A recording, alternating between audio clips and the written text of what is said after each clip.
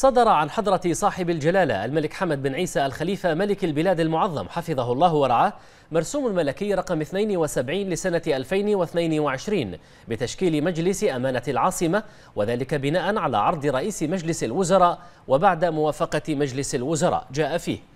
المادة الأولى يشكل مجلس أمانة العاصمة برئاسة صالح طاهر محمد طرادة وعضوية كل من خلود راشد عبد الرحمن القطان نائبا للرئيس. المهندسة هدى سلطان مبارك فرج. المهندس محمد توفيق رضي الشيخ آل عباس. الدكتور عبد الحسن حسن عباس يوسف. فاطمة فؤاد أحمد الحاجي. الدكتورة وفاء عمران جاسم أجور.